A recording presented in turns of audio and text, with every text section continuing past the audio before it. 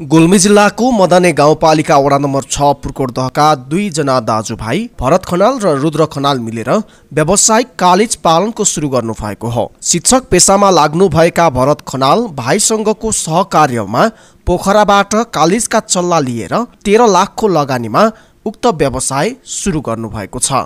यो सोच चाहिँ खास विशेष गरी यो पोखरा नेपालकै पहिलो कालिज फर्म पाल्नु भएको छ र हाम्रो भाइ चाहिँ विशेष गरी अब उसले कृषितिर बढी इन्ट्रेस्ट गर्ने भएको हुनाले यसमा मेरो बाह्र तेह्र लाख जति लाग्छ सर यो एक रोपनीमा दुई सय कालिज हाल्दा। यो हामीले पोखराबाट ल्याउँदाखेरि प्रति चल्ला सोह्र सय राखेर लिएको सर। भर्टिकल्चर एग्रो टुरिज्म प्रणाली मार्फत कालिज लगायत चालिस रोपनी जग्गामा सिमला मिर्च अकबरे खुर्सानी सीताके च्याउसँगै फलफुल क्षेत्रमा अलमुन किबी ब्लुबेरी लगायतका तरकारी तथा फलफुल उत्पादन गर्दै आउनु भएको छ।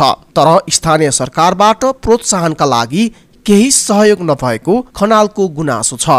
अब अहिलेसँग त्यस्तो केही थिएन सर। मैले चाहिँ गाउँपालिकामा एउटा ह्याचिङ मेसिन चाहिँ उपलब्ध गराइदिनुहोस्। अनुदानमा भने आउँछ। अब जात्रै त्यो पनि जाँदै सरकार राख्नु भएन। त्यसमा पनि पैँतिस हजार जत्रो मेसिन ज जे ल्याए पनि हामीले पैँतिस हजार दिन सक्छौँ भन्नुभएको छ।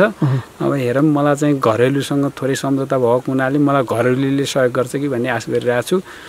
कालिजको चल्ला राखेको पाँच महिनापछि बल्ल बेच्न लागेको हुन्छ। अहिले खनालको फर्मबाट कालिज बिक्री गर्न सुरु भएको छ। कालिज प्रति एकको पच्चिस सयमा बिक्री हुने गरेको छ। नेपालमा कालिज पालन व्यवसाय नौलो व्यवसाय हो। उत्पादित कालिज स्थानीय बजारमा बिक्री हुँदै आएको छ। कालिजको मासु स्वादिष्ट हुने भएकाले पनि यसको माग बढ्दो छ। कालिज उत्पादन ढिलो र बजारमा यसको उत्पादन कम भएकोले पनि यसको मूल्य महँगो रहेको छ।